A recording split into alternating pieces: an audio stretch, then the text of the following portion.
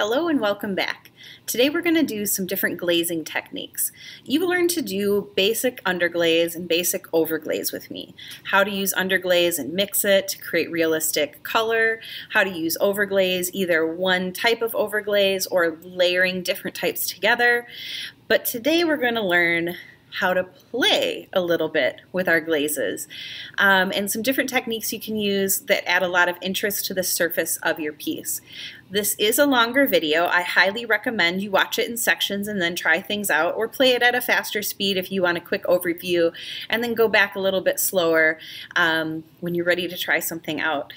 I had a lot of fun playing around. Um, I've got some good outcomes and I've got some that aren't as strong. And I want you to remember that the purpose of this project, these little coasters that we've made, um, is to play with our glazes, to learn what's possible, to see what happens when we try things out. So I want you to release a little bit and know that if you have something, you try it, doesn't turn out, it's not the end of the world. It's okay. That's part of art, that's part of learning. Sometimes things work out and work out better than we anticipated, and sometimes they don't work out so hot, and it's okay. Both of those things are okay. So have some fun, play, experiment, and see what you can do. First thing you need to do before you start glazing is to set up a notes page in your sketchbook. When ceramists are working with glaze, they want to see how different glazes interact with each other, and there's a lot of experimentation involved we take notes so when these pieces come out of the kiln, if we see something we really like, we can replicate it. Or if we notice something doesn't work well, we can avoid it in the future. If you get really into ceramics or glazing, you'll start mixing your own glazes and keeping great notes of measurements and weights and firing temperatures is super important. So it's a great step right now to just kind of keep track of what glazes you use, what the outcome is like, and that way moving forward, you know what you like and what you don't like. So I've got all of the different glaze techniques that I'm gonna do on my left. So we're gonna do a wax resist, a sgraffito, a stencil, a sponge, and an experimental glaze. And on the right, I have all my texture techniques that I've already applied to my pieces, stamped, rolled, carved, multiple additives, and experimental texture. Once I've started working on the glaze on each of these pieces, I note what I'm going to do to the piece. So if you look at Sgraffito,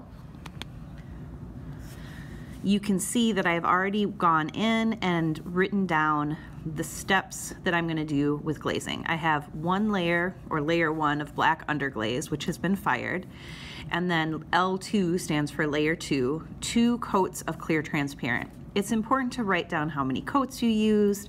I should indicate that this has been fired already, and eventually I'd want to write down the temperature at which it's fired. So make sure you keep notes on your pieces as they come out. The awesome things about a, a class keeping notes like this is if you see a classmate have a piece come out of the kiln that you love how the glaze turned out, you can always ask them to see their notes so you can replicate that in your own work. Here's my Sgraffito piece. It's been fired and I'm gonna glaze this. This one's pretty easy. It's just two coats of clear underglaze. If you wanted to put a transparent colored glaze over this, you could, but really, just do the transparent, you'll be much happier. A uh, piece in the kiln broke and it hit this piece and it chipped a little bit of the corner of my bird. So before I do the clear transparent, I'm just gonna touch up that little corner with just a little bit of black underglaze. Oh, I've touched up my little spot. I've let it dry. I shook up my clear transparent and I'm just gonna apply um, two coats. I'm gonna start on my edges and then I'll go to the top Apply a first even layer. Make sure you brush from multiple directions to get it into all the textures. Let that first layer dry completely, then add the second and make sure to clean off the back when you're Here done. Here is the finished Sgraffito. You can see that it's got a clear coat on the top that if you do a colored glaze, it really deepens the color, makes it a little bit rich. I'm really happy with the outcome on this piece. The next glazing technique that we're gonna learn about is wax resist. It's a really fun way to play with the raw clay versus a glazed surface. So what I've done first is I went in and I underglazed a tile. Then what I'm gonna do is I'm gonna apply this product. This is Amaco Wax Resist to the surface. And if you can see, it's pretty gummy around the top here. Um, I've shaken this up pretty well. And when you open it up, there's a kind of a creamy liquid inside. And we're gonna apply it to our tile. It dries like this. Okay, so the water releases and it's just a waxy substance. And wherever I apply that wax on the surface, it's going to resist my overglaze. So the overglaze is water-based, so it's going to force that overglaze off of the space where there's wax into the places where there's not.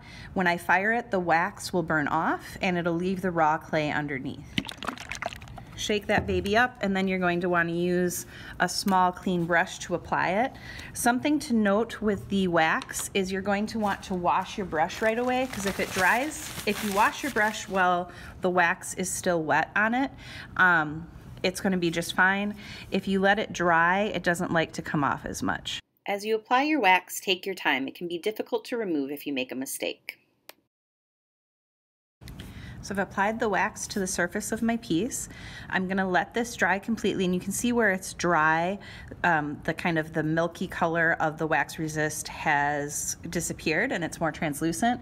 I'm gonna take my um, brush over to the sink. I'm gonna wash it up with soap and water. I'm gonna make sure that all that wax is out of the brush, otherwise it will ruin the brush. All right, I'm not quite dry yet. If you look, there's some areas here, here, and here where the wax is still a little bit damp. Um, but I'm gonna start anyways because I'm a rebel. No, it's because I need to show you other things in the video. I picked a black glaze because I have a colorful background. Um, the clay that we are using in class is a white clay. So, you know, if you're gonna leave the clay as your background, pick a darker glaze or a more colorful glaze. You're gonna shake up the glaze like always. Make sure you hold that top on. You're gonna use a soft bristled brush and you're just going to gently brush the glaze onto your piece. This technique only works with a thinner glaze. Don't use something that's too thick. Here you can see me removing excess glaze with a little bit of water. One of the things you might be asking or wondering is like, okay, well, how do I use wax resist? really common way to use wax resist is on the bottom of like a wheel thrown vessel. You put it on the bottom of the foot so that when you glaze it, the glaze doesn't stick to the foot. You could also come up around the edge of the, the vessel too, um, and it just helps you to create like a nice line where glaze stops and the raw clay on the foot of the vessel exists. Um, you can use it like I am here to do decorative work with glazing, um, so to create patterns. And remember that when this glaze fires, the glaze is going to be bright and shiny and the colored area is underglaze, so it's going to be matte finish. So I'm going to have the contrast of color and I'm going to have the contrast of glaze versus um, matte. Um, so you can create patterns, um, you can add details, you can add interest to your piece. Um, I've also seen artists use it um, to keep one area of their piece with a matte finish. Um, so let's say they they have a bird on their piece that they've underglazed, and they want that bird to have a matte finish because a bird in nature would not be shiny.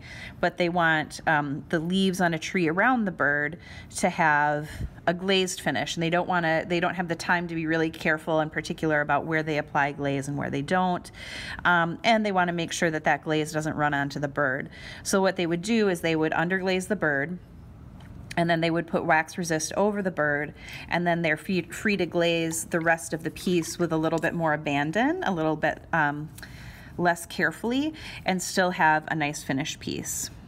So there was my second coat. Now I'm just going to go in and clean off my wax resist again. You can see when it gets wet when I apply that water it just peels right off the wax. And that's where a thinner glaze is going to work a little bit better than a thicker glaze on this. Can I just say that this is so satisfying to do, by the way? I've also updated my notes for Wax Resist. I wrote layer one, chartreuse, turquoise, medium blue underglaze, fired. Layer two was wax, and layer three was Amaco opalescent, black tulip, two coats. So when you update, you write the brand, the line, and the color. Okay? Here is the finished wax resist. I wish I had done one more coat of that um, overglaze. You can see where there's the sheen. I really wish I had the sheen everywhere. When I pulled the, wat the overglaze off with the water, I thinned it perhaps a little bit too much, but I still enjoy the contrast between the color and the black. The next technique I'm going to show you is a stencil. You can purchase stencils, but we're going to make our own because why purchase something when you can make your own and make it more unique, right? So this is the stencil I'm gonna use. I'll take you through the process. Your first step is you're gonna want some kind of film to make a stencil on. We have this plastic film that we use in class. If you're at home, you could use a wax paper, um, any kind of like firmer plastic. You're gonna draw whatever shape that you want to make your stencil. In this case, I used a leaf shape with a little bit of a stem coming through it. Then you're gonna put this on a cutting surface, which could just be a piece of cardboard, or we have cutting mats at school. You're gonna use a sharp X-Acto knife and you're gonna cut out all this negative space, or the positive space. You're gonna leave behind the negative space or the space around the outside. As far as glazing goes, um, you're going to first, with a stencil, do two coats of a glaze to cover the whole piece. And then you're going to pick a color of glaze that is high contrast with that. So my background, I'm going to use Amaco Elements Sea Spray, which is a very, very light blue. And my top layer, I'm actually going to use three different colors, um, but they're all darker than the Sea Spray, um, and they are all in, a in the green family. Um, I'm also keeping it within the same brand and line. They tend to do more interesting things they, when they mix. So I've got Spanish moss, turtle shell, and sea green, all Amaco elements. Um, Amaco elements glazes are some of my favorite ones to have my students use. They're pretty solid, come out really nicely. So I'm going to do two coats of the sea spray. I'm going to let this set up and then do a second coat in the opposite direction. All right, my background layer is dry. Again, I have my background layer is light in color. I'm using darker colors in a different hue for the, the top layers. Um, you could potentially have a dark background with light top layer, but I'm gonna warn you that a lot of times those dark glazes will overtake the light. So if you do a dark background and you put light things on top, you don't always see the light things. I'm gonna lay my stencil down, and then I'm gonna get a sponge that's damp. Okay, not wet, there's no liquid coming out of it if I squeeze it, it's damp. If I can dip my sponge into my glaze, I will. I can't dip it into this one, um, so I'm gonna put a little bit on the end here. Hold that stencil nice and tight and dab straight up and down to apply the glaze. And then you lift your stencil. You can always reuse a stencil, so I could lay this down again and I could keep glazing across this piece with layers and layers and layers of these leaves. Um, what I'm going to do instead is I have another stencil with the same type of leaf. Once these two dry, I'm going to use other leaves on this with different colors and I'm just going to keep adding layers of leaves to my piece. I'm going to rinse my sponge between um, so that I've got a nice clean surface to work on and just have some fun layering things up. Make sure you let coats dry before applying new coats. You don't want to put a stencil over a wet layer. Every time I do a new piece, I let it dry first. What you're going to see next is me not liking the glaze. So I scrape it off, I wash it off with a little bit of water, reapply the back coat, and then I add new on top. If you don't like some glaze that you've done, this is the route I recommend. Scrape, rinse, reapply. Here's the finished stencil. You can see that it's a really subtle piece. The color on these two leaves, I think that was the turtle shell, turned out a bit darker than the other colors, which honestly is fine. It's really soft and subtle. I think it turned out really pretty. My next technique I'm going to show you is a sponge technique. And for this technique, you can either, you can do it in two ways. One, you can just use the sponge as opposed to a paintbrush to apply the glaze, which gives kind of a different texture to the glaze. Or um, I have these compressed sponges that we can cut into and make shapes. So I'm going to cut into this and make a star shape. I'd highly recommend drawing your shape out before just cutting away. Um, usually you have a better outcome than just randomly um, cutting a shape. But um, you can cut a shape into the sponge, relatively simple shapes. I wouldn't get too much more complicated than a star. Um, and then we're going to use that to apply a glaze in a specific shape, almost like we did with the stencils, just a different route. You're going to finish cutting your sponge, then you're going to use a damp sponge to apply a coat in one layer. I'm going to fade one color into another, so I do two coats of each layer overlapping in the middle with a little bit of sponge texture in between. Here I'm coming in with a star with a lighter glaze and applying the stars on top. I'm doing two layers of each star.